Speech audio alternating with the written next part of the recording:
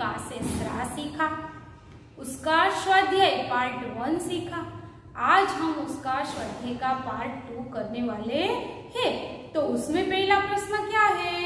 तो कि चित्र देखो, गोला करो और वह शब्द लिखो।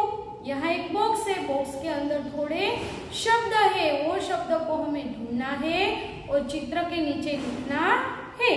तो पहला चित्र क्या है? अनार। बॉक्स में ढूंढो, कहाँ है? पहली लाइन में उसके ऊपर राउंड करो और चित्र के सामने लिखो, अनार. दूसरा चित्र शपेरा तो उसमें ढूंढो, कहाँ है? थर्ड लाइन उसके ऊपर राउंड करो और चित्र के बाजू में लिखो, सपेरा. फिर थर्ड चित्र देखो, क्या है?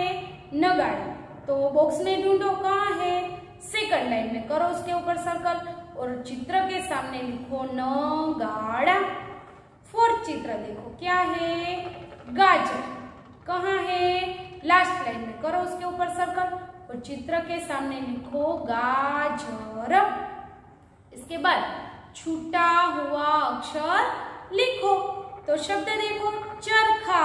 तो बाजू में देखो, क्या छूट गया? खा अनार क्या छूट गया ना।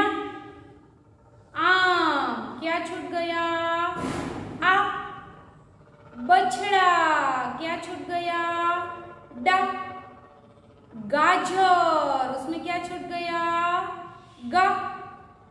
जहाज़, उसमें क्या छूट गया? हा। तबला तो उसमें क्या छूट गया? ला। ढकना तो उसमें क्या छूट गया?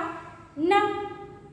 इसके बाद कोष्टक में से शब्द चुनकर खाली जगह पूरो, चित्र देखते जाओ और उसका नाम खाली जगह में लिखते जाओ।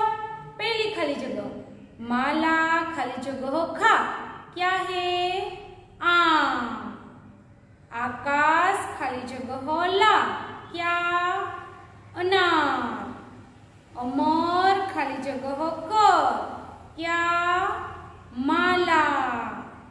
बाला खाली जगह साफ़ रख। क्या? नाम उसके बाद समान शब्द को जोड़ो। दोनों साइड सरखे सरखे शब्द दिए हैं, उनको हमें जोड़ना है।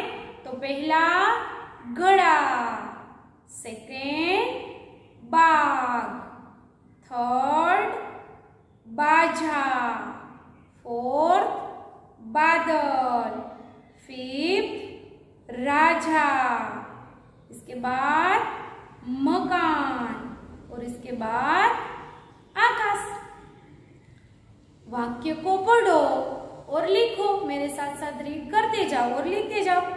सरला गाना गा। आकाश आम खा।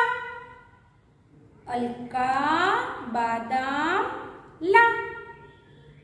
माला खाना